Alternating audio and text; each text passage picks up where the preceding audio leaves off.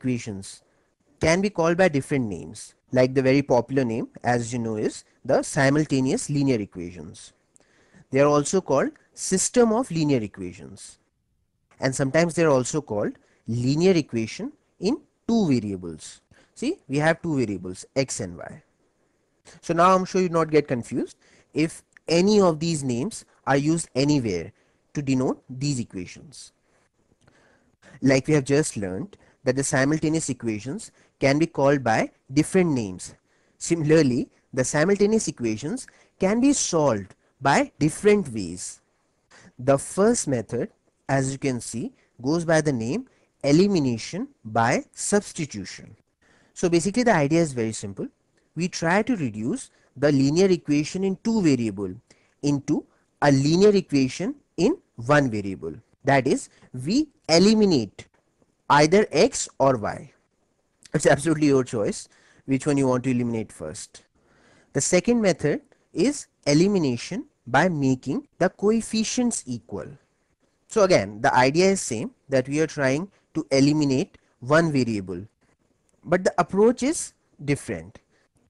Now, the first two methods are the standard techniques used around the world to solve simultaneous equations. And as you can imagine, that they are little longer as they involve number of steps. Whereas this third method is what you saw me using few moments back to solve this equation in 10 seconds. It is direct. Therefore, it is very fast and easy.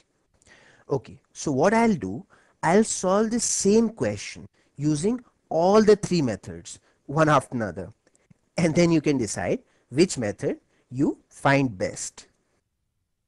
So now I'm going to solve these equations using the substitution method. Now as you can see, I had to reduce the font size so that we get ample space to write down all the steps. You know what I'm hinting at. This method is little long. So please be little patient. okay. So let's first name these equations. Let me call this first equation as 1 and the second equation as 2. So what we have to do, we have to find the value of y from this equation and substitute it into the other equation. And this way we would eliminate y. So 5x plus 2y equal to 12. So this means 2y equal to 12 minus 5x. Isn't it? When this positive 5x will go to the other side, it will become negative 5x.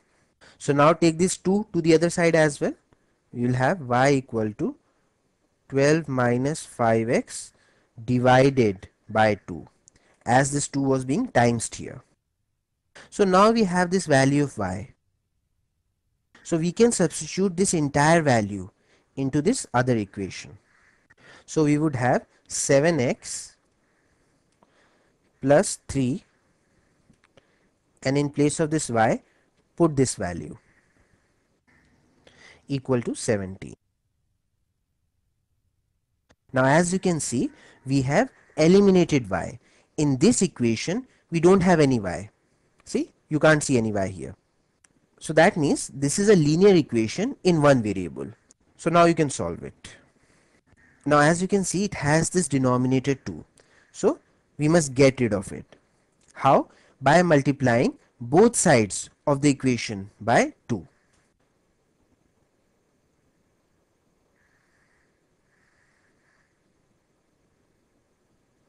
See, now this 2 cancels out. So now simplify it. This is 14x. And we can open the bracket. This would become 36. 312 times is, right, 36. And this would become minus 15x and this would become 34. So 14x minus 15x would be minus x and 34 minus 36 will be minus 2. Now since minus minus is on both the sides so we can simply cancel it out. And finally we have managed to find out the value of x. x is equal to 2 but still even after doing all this hard work our job is only half done. Why? Because we still have to find the value of y. But we can do that very easily. Simply put this value of x here and you'll get the value of y. Minus 5 times 2 would be minus 10 so 12 minus 10 would be 2 and 2 divided by 2 will be 1 so y is equal to 1 and now the question is solved x is equal to 2 y is equal to 1 so this was the substitution method for you. So tell me honestly, how did you find it? Uh, did you say long and complicated?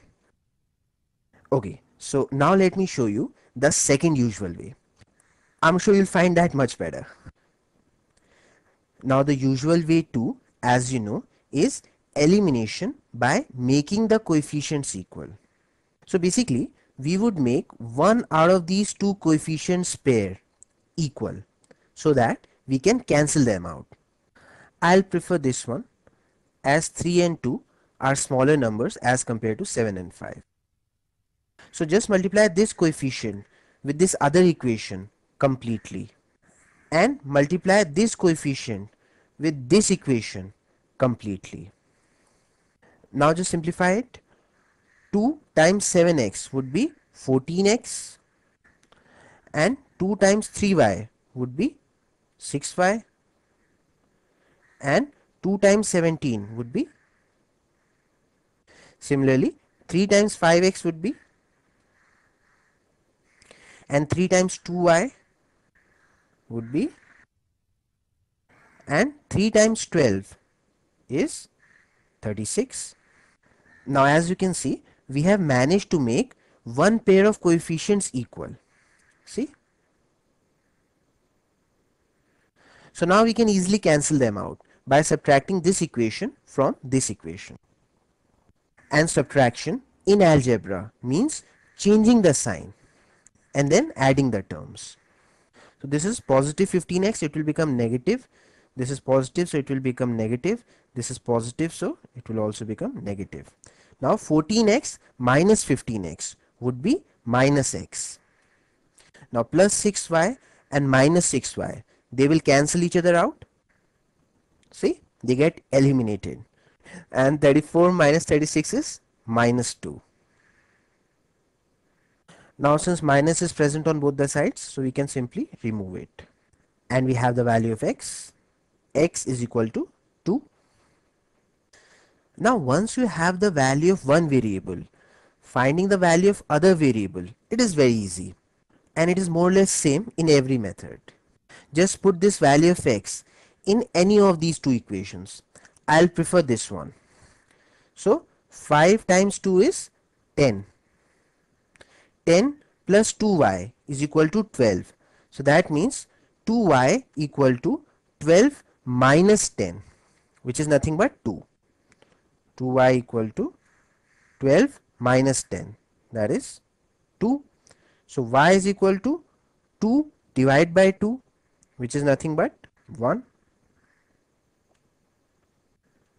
and we have solved the question. x is equal to 2, y is equal to 1. So now I'm sure that you must be eagerly waiting to learn the third method that is the direct EasyCal trick to solve any simultaneous equations in just few seconds. But you see, I don't want to overload you with information in this video. So we'll be learning that method in the next video.